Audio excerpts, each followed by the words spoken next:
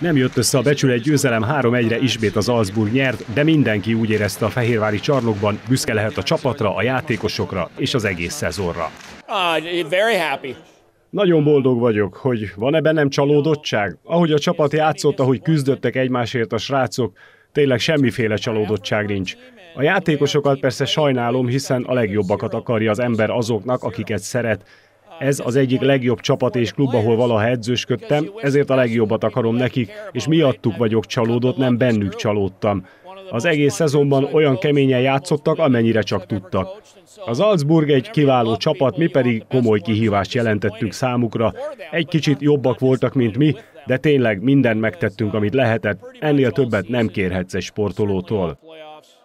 Örülni nem tudunk, hát nem ez volt a cél. A cél a bajnok cím volt végig, első naptól kezdve.